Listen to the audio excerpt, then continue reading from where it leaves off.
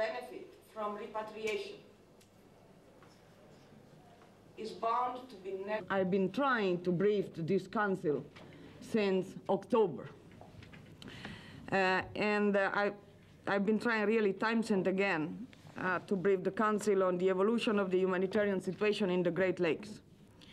And my analysis, even today, is that the evolution is that things are getting worse rather than getting better.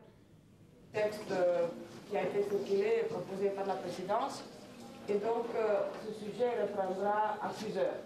So even if at the end of the day we will manage to, to airlift back some few thousands, please don't forget that the, we started from an enormous amount of hundreds of thousands.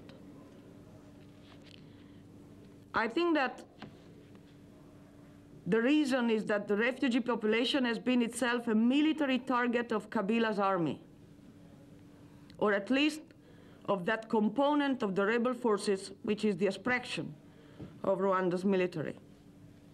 And there can be little doubt at this stage that human rights abuses have been perpetrated and are being perpetrated against refugees considered to have been involved in the 1994 genocide.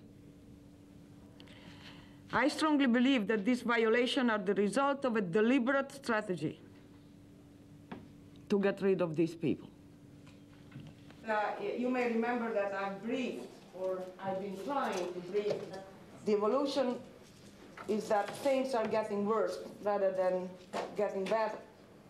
But no time for such a broad discussion. So, point of my responsibility. Of course,